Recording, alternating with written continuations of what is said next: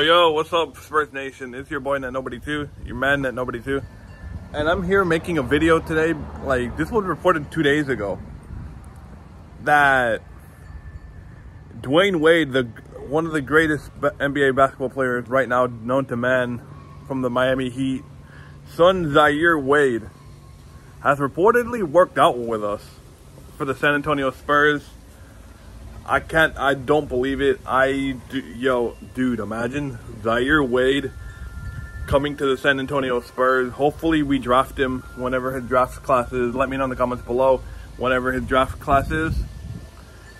Yo, he, dude, Zaire Wade coming to San Antonio. That'll be amazing.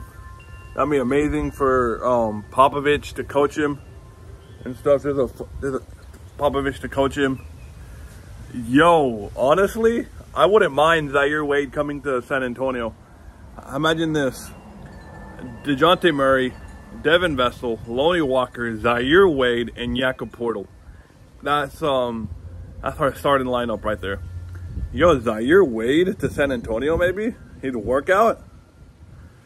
Yo.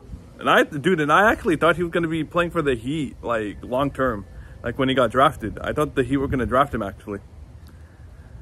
And yeah, just wanted to hop on, but Zaire Wade coming working out for San Antonio? What? No way. Anyway, guys, I'll see you guys in M on draft on draft night.